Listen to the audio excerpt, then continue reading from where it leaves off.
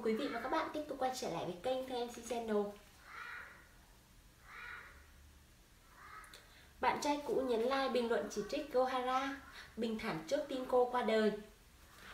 Thông tin Gohara, cựu thành viên nhóm Kaja Được cảnh sát xác nhận qua đời tại nhà riêng vào khoảng 6 giờ tối Ngày 24 tháng 11 đã khiến cho làng giải trí Hàn Quốc một phen chấn động.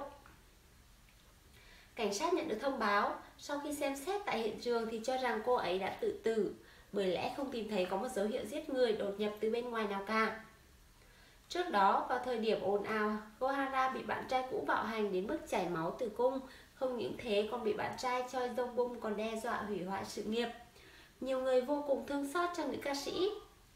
Gohara cũng từng tiết lộ trong chương trình Nocturo vào năm 2010 rằng cô bị bắt nạt tàn nhẫn vì quá nổi tiếng. Thời điểm đó là thời điểm trông gai đối với nữ ca sĩ và cô đã phải chuyển trường nhiều lần.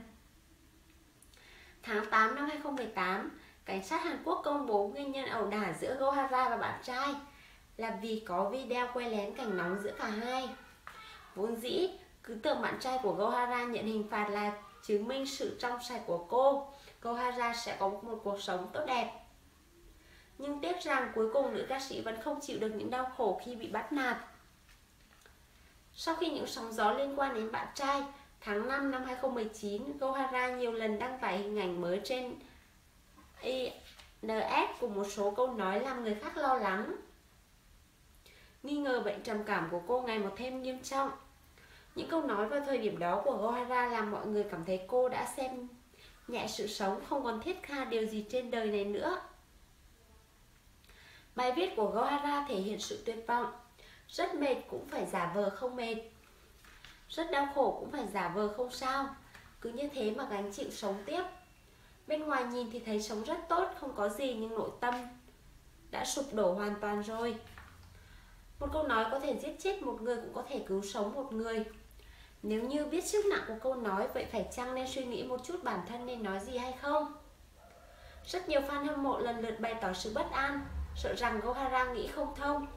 Hy vọng chỉ đóng INS mà thôi. Thật sự rất sợ, chị nhất định không có chuyện gì nhé. Sau đó Gohara đã xóa những hình ảnh này trên INS. Quả nhiên, những gì fan hâm mộ lo lắng là đúng. Sau khi Gohara đăng tải những lời nói tuyệt vọng không lâu thì cô đã chọn con đường dẫn đến cái chết. Nhưng may được người quản lý phát hiện và cứu sống.